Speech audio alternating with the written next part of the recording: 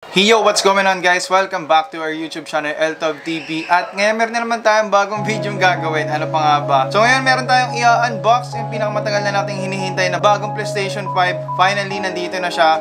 Meron tayong PS5 digital version pero ngayon meron na tayong PS5 this. Ang tagal na nating hinihintay nito pero finally, mahahawakan na natin siya at may unbox natin siya. At kung gusto mo sumali sa PS5 giveaway at gusto mo manalo ng PS5, panoorin mo to hanggang dulo. Ganun na rin sa PS4, mamimigay din ako ng brand new PS4. Abangan ninyo yun. So let's go!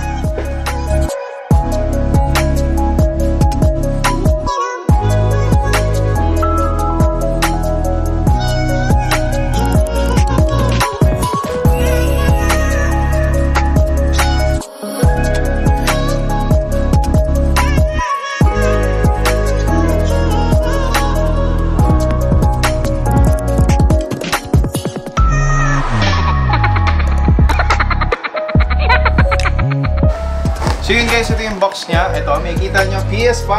Sa likod naman ng box, or sa gilid niya, ito yung may kita natin. Ayan, may disc na siya.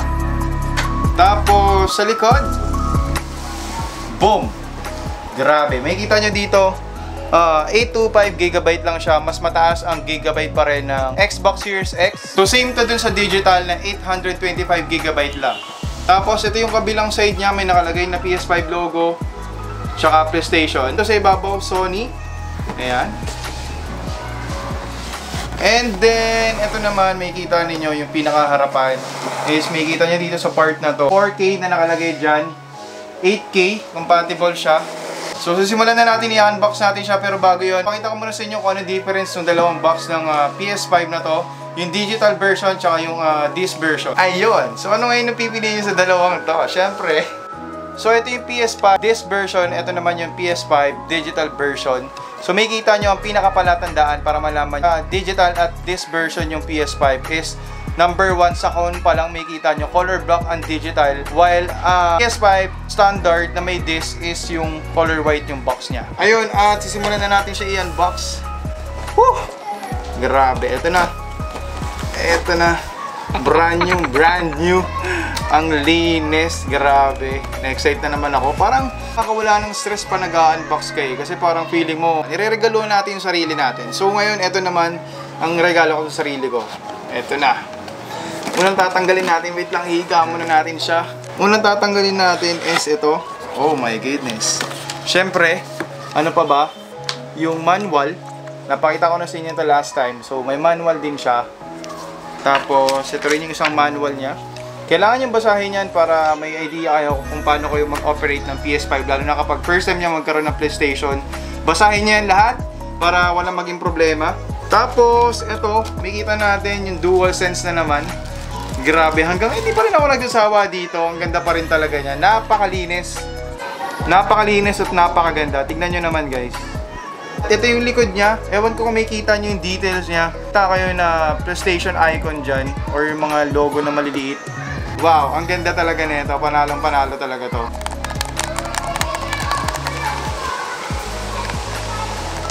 Napakaganda, napakasimple.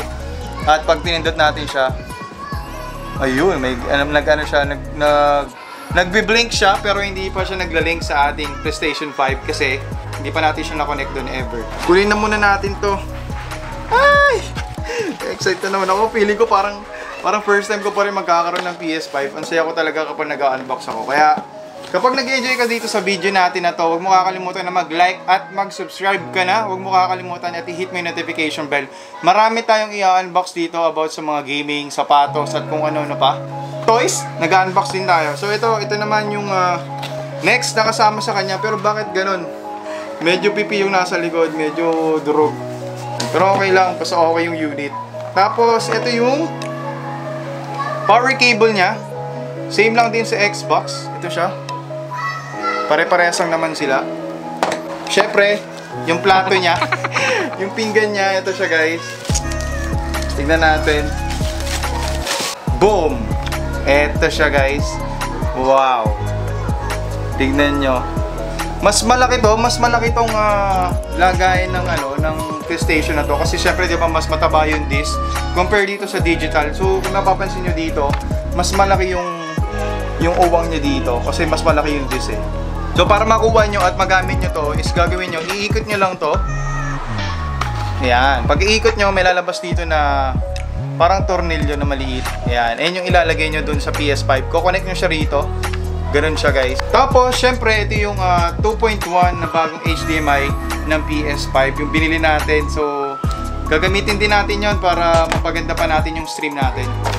At syempre, yung nakalimutan ko nung una, kala ko walang USB cable or walang charger. Ito yung pinakabago ngayon, Type-C.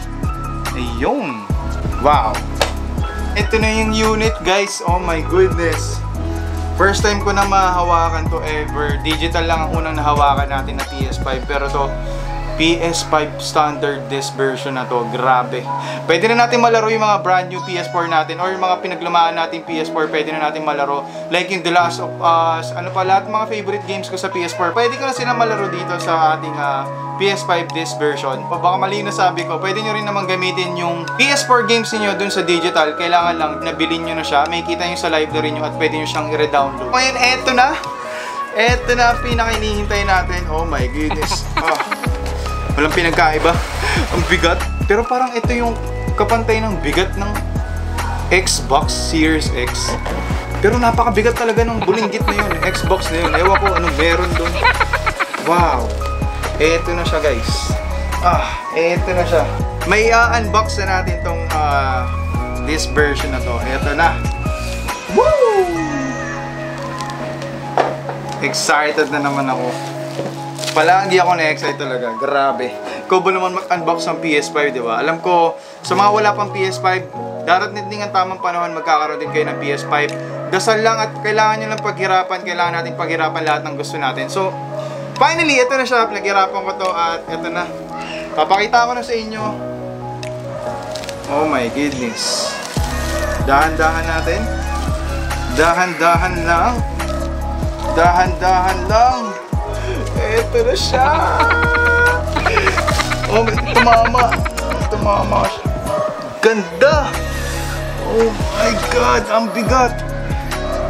Oh my goodness. Oh my goodness. Tignan nyo maigi guys. Napakakinis. Napakaganda literal na wow. Ang sulit na ito guys, grabe. Ang SRP nito is 27,990 pesos. Napakaganda talaga nito guys. Sobrang ang lupit ng pagkaka-design nila dito. Ayan. May kita nyo yung middle part niya is glossy. Ayan. Ito yung pinaka LED light nung PS5 dito sa dalawang to. At dito rin ang gagaling yung hangin kapag kumukuha siya. At dito naman niya ibinubuga lahat ng init ng mismong unit na to dito sa likod. Ito yung pinakalagayan ng bala niya. Ito naman yung USB cable. Dito natin isasaksak yung uh, charger ng PS5 or yung DualSense. Tapos, ditong Type-C, USB. Dito naman is yung eject na mismong bala. Tapos, yung power on. To. HDMI cable. At ano to? LAN cable. May LAN cable din. Tapos, dalawang USB. Ito siya. Grabe, sumakit likod ko. Ang bigat na ito guys. Mas mabigat to sa digital. Siyempre, wala siyang lagay ng bala. So, grabe, ningal ako. Ang bigat na ito. Woo!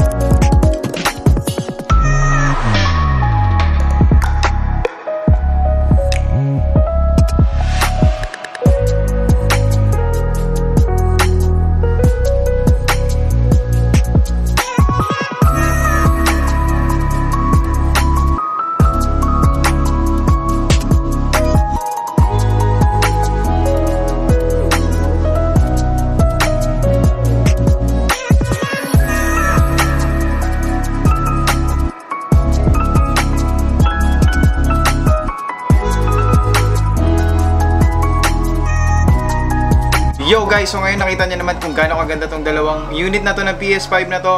Ito yung digital version, ito naman yung disc version. Ano sa tingin niyo yung parang sa inyo? Ako yung tatanungin niyo, syempre mas dito ako sa uh, disc version. Syempre alam naman natin na kung anong kayang gawin netong disc version na to compare dito sa digital. Una sa lahat yung Blu-ray disc niya, 'di ba? Alam naman natin na mas madali siyang gamitin lalo na dito sa bansa natin na sobrang babagal ang internet. Dito kasi sa digital version is kailangan pa natin siya i-download through internet lahat ng games. Hindi niyo siya pwedeng lagyan ng kahit anong bala, PS4, PS5 games.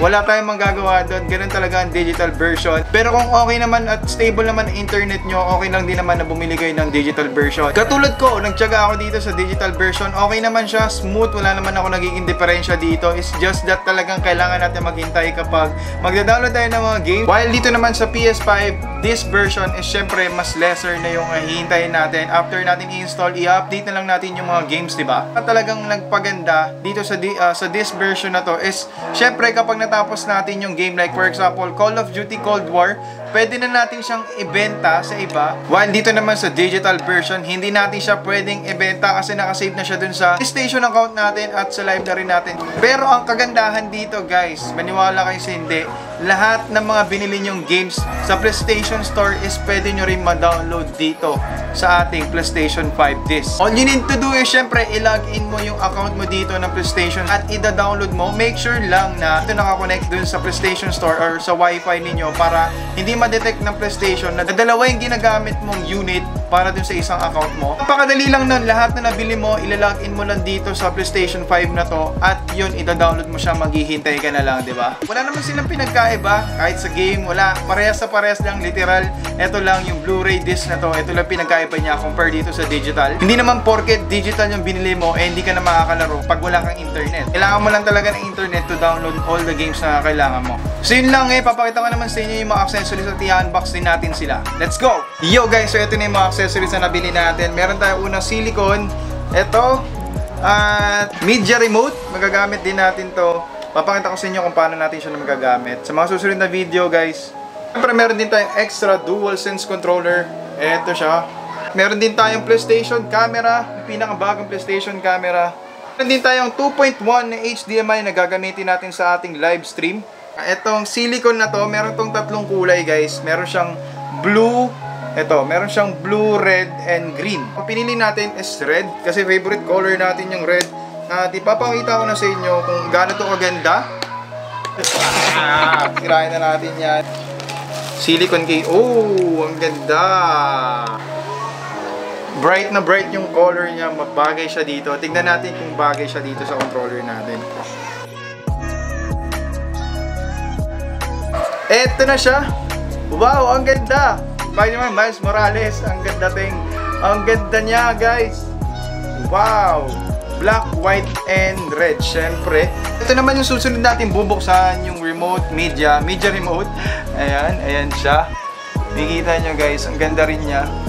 Meron siyang option sa Disney, Netflix, Spotify, YouTube pag gusto nyo uh, i-play yon sa PS5 niyo mas madali yung pipindutin nyo. I-unbox na natin siya. Titignan natin.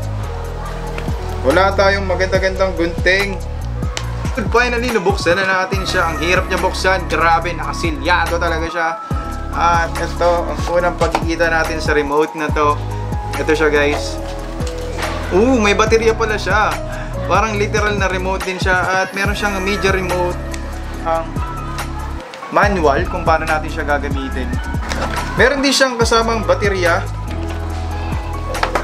na Sony. Ngayon ako nakita ng ganitong baterya. Sony. Ewan ko kung nakikita ninyo. Ayan, Sony. Yung pinaka-remote na hinihintay natin. Wow. Ang ganda. Ang cute. Grabe. Ang cute. At bali-balita, sabi nila, pwede mo rin daw to gamitin sa mismong TV mo kapag naka-Sony ka. So, sakto, Sony ang gamit natin na TV. At pwede natin tong gamitin sa kanya kapag nawala yung remote natin, di ba? So makikita nyo dito meron siyang nakalagay na Netflix, Disney, Spotify, tsaka YouTube. So mas easy access kapag ginagamit natin yung PS5 natin sa mga application na yun. Tapos, syempre, ang DualSense controller natin. Pinakita ko na sa inyo kanina. Ayun, meron din siyang uh, DualSense uh, manual. Ito siya guys. wala siyang kasamang extra na USB cable, yung Type-C, wala siyang ganong kasama. So, mismong ito lang ang makikita natin.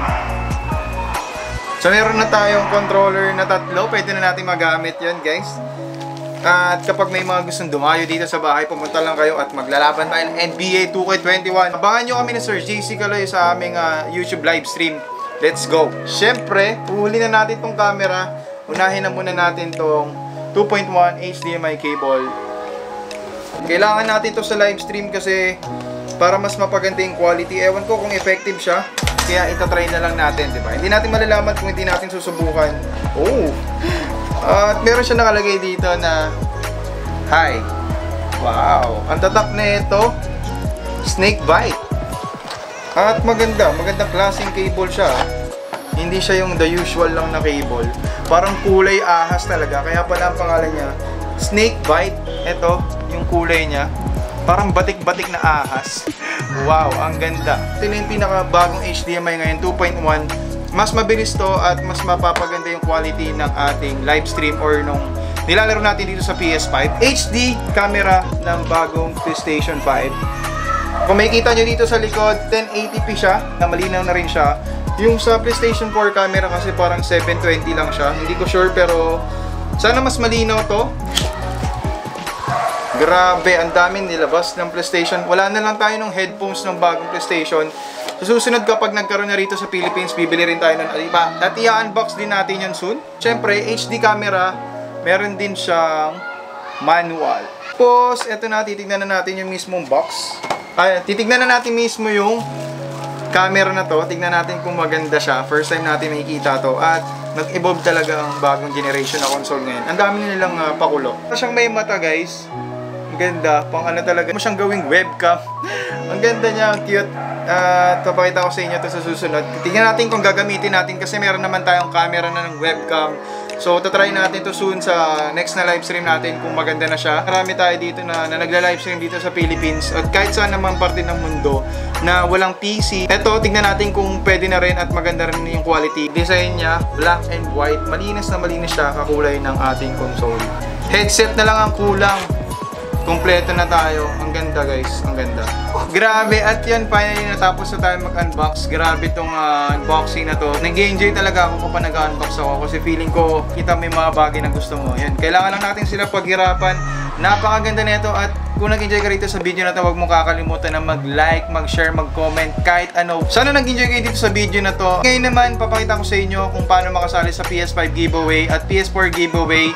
Uh, pagandaan nyo yun at abangan nyo lalabanan paglalabanan namin Sir JC Kaloy sa NBA 2K21. Makapaghintay doon at di na rin makapaghintay na makapagbigay tayo sa mga kapwa gamer natin ng PS4 kasi marami talagang nanonood sa atin at marami talaga nangangarap kahit PS4 lang, sinasabi lang kahit PS4 lang, wag na PS5 kaya yon uh, sana kahit pa paano mapaligaya namin kayo at soon basta kailangan lang natin paghirapan lahat ng bagay na gusto natin. At eto na, panoorin nyo kung paano makasali dito sa PS5 giveaway. Let's go! What's up guys? So ngayon, uh, itong PS5 na to, pamimigay natin yan kapag umabot tayo ng 10,000 subscribers dito sa YouTube channel natin, LTOV TV. At kung interesado ka kung paano sumali dito, i-follow mo lang kami sa Instagram account namin at Facebook page. May kita mo doon yung lahat ng mechanics. Una is, uh, like mo yung mismong post namin doon sa Facebook na naka-pin post. Pag bukas mo ng LTOV Gaming Hub, may kita mo agad yung post na yon na PS5 giveaway. Tapos, magtatag ka ng 3 of your friends. Uh, ipapollow mo kami sa Instagram na LTOV Gaming Hub. Tapos, uh, magsusubscribe ka sa YouTube channel namin dito sa LTOV TV. At huwag nyo kakalimutan na i-hit yung notification bell at kapag umabot tayo sa 10,000 subscribers, mamimigay tayo ng brand new PS5 para sa inyo yung mga kabomba dahil uh, sobrang solid yung sumuporta simula noon hanggang ngayon. Hindi kayo nagsawa kahit na wala mga pag-giveaway, nanonood kayo lalo na sa live stream natin. At sa mga bago dyan, kung gusto niyo makapanood ng live stream natin, inihit niyo yung notification bell, mananotify kayo kapag may ginawa akong live stream at mga bagong video. At yun nga pala, meron din akong uh, PS4 giveaway na gagawin namin ni Sir JC Kaloy. Kasama ko siya, collaboration namin. Mag-NBA 2K21 kaming dalawa. Ano yung lumabas na ending score or ending number, yun yung possible na manalo. Uh, hindi ko pa nalalabas yung full mechanics. Abangan nyo lang yun. Haring i-post ko yun dun sa Facebook page natin or Instagram account natin. Kaya mahalaga na nakatuto ka at nakafollow ka sa mga social media account namin. Makadali na lang gagawin mo mabilis ka na mananalo dito at malaking chance nyo. Kaya kung hindi ka pa nakakapag-subscribe at na, hindi mo pa na-follow lahat ng mechanics sa PS5 giveaway, i-follow mo na. Dahil pag gising mo, may PS5 ka na. Ganun lang kasimple yun. At sana dumami pa tayo mga kabomba, no? Ah, maraming maraming salamat sa inyo. Hindi ko alam kung paano kayo pasasalamatan. Pero sana umabot tayo ng 10,000 subscribers para sobrang solid na natin. Makakapagsimula na tayo. Yun lang para sa video na to. Sana nag-enjoy kayo. God bless and peace.